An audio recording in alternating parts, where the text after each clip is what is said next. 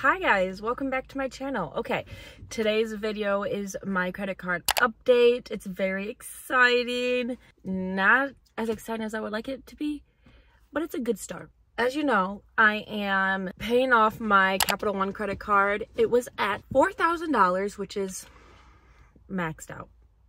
Yes, I can't believe it. That won't ever happen again. It will not ever, ever, ever happen again because I am tired of paying that interest. So what did I do today? Well, yesterday I paid $500. So my new balance is right here and that is very exciting. Um, I have been working six days a week for the last two weeks and my paycheck was really good. So I think that I'm just going to continue to do that till the end of the year so that I can make these big payments each paycheck because usually I have one paycheck that pays all my bills and the next paycheck is the one that I can throw to debt. So if I continue to try to pick up um, two more shifts each week, I can make that same amount and throw more money at this. And that's what I'm going to plan to do. I know how exhausting it is. So that's the hardest part, but seeing that go down so much just made me really excited. So I'm going to have to push through and get it done.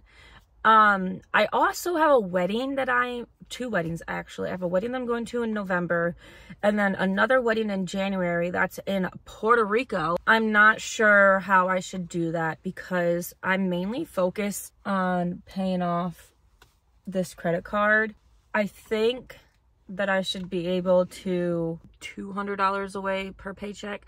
So if I do that, I should be able to have like enough money for food and spending. I don't know. I'm just throwing things out here right now. I'm not sure. Everything was like very short notice, so I don't have a lot of time to prepare, but that's okay. I just got to learn how to budget, budget right. So that's kind of stressful.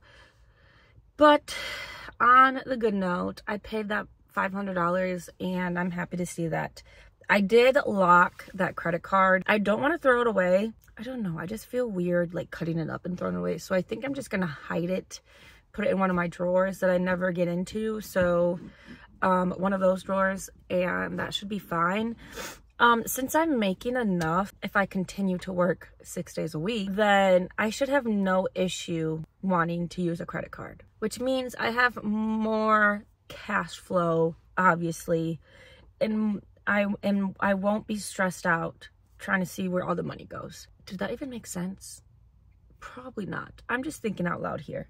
That is the biggest update I want to tell you guys. I'm at 3,500. I'm happy. So happy to see that go down a lot. I wonder what my payment will be. So that's the update. I hope you guys enjoyed this short video. Mentally and emotionally, I'm going through a lot right now. I feel very lost in life. And I think it's just because of my financials and what I'm doing. I don't want to get in too much into it, but I just really feel like behind for my age and not where I should be. So I am thinking a lot on what I want my life to be, to be, what I want my goals to be.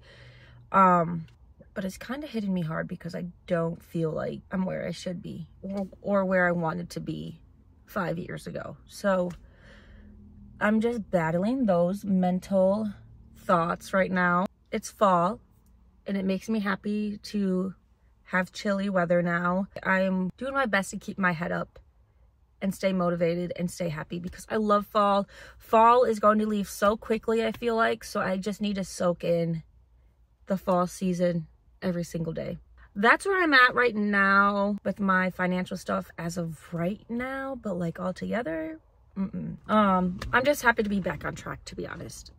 I feel like every single week I make a new budget thing and I don't stick to it, but this one I'm sticking to. So my budget plan is working great. Thank you guys for watching this short video.